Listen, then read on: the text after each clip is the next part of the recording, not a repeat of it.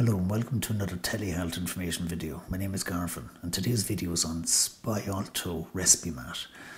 Spiolto Respimat contains two active substances called tiotropium and olodaterol.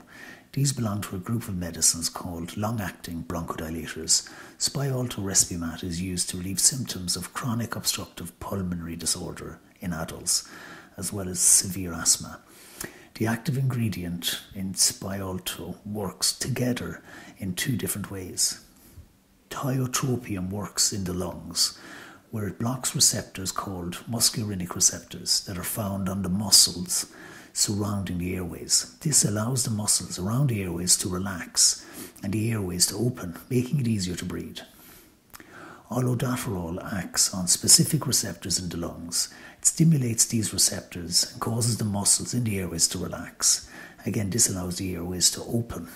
It is important that you follow your doctor's instructions when taking Spiolto Respimat. Spiolto Respimat is effective for 24 hours, so you will need to use the Respimat only once daily. Each time you use it, you take two puffs.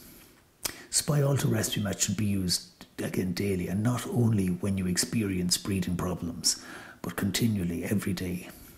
Spiolto Respimat is likely safe to be taken during pregnancy. However, if you're pregnant, you should still seek medical advice from your doctor before using Spiolto.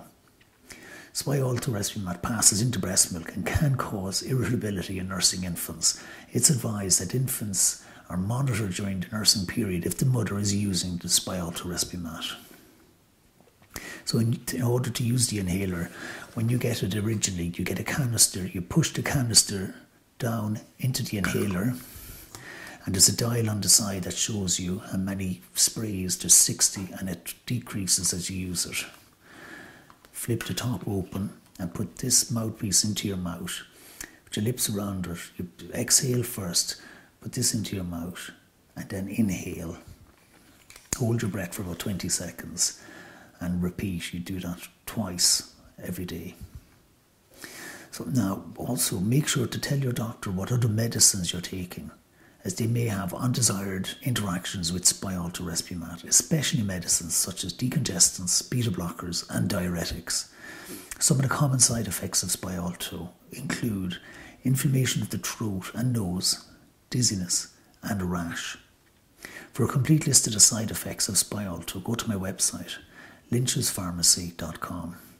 And remember, all medicines have potential side effects, but it doesn't mean that you'll experience them. That brings this video to an end. If you have any questions, make sure to leave them in the comments below or contact me through lynchespharmacy.com. Thank you for watching. Stay healthy and stay informed.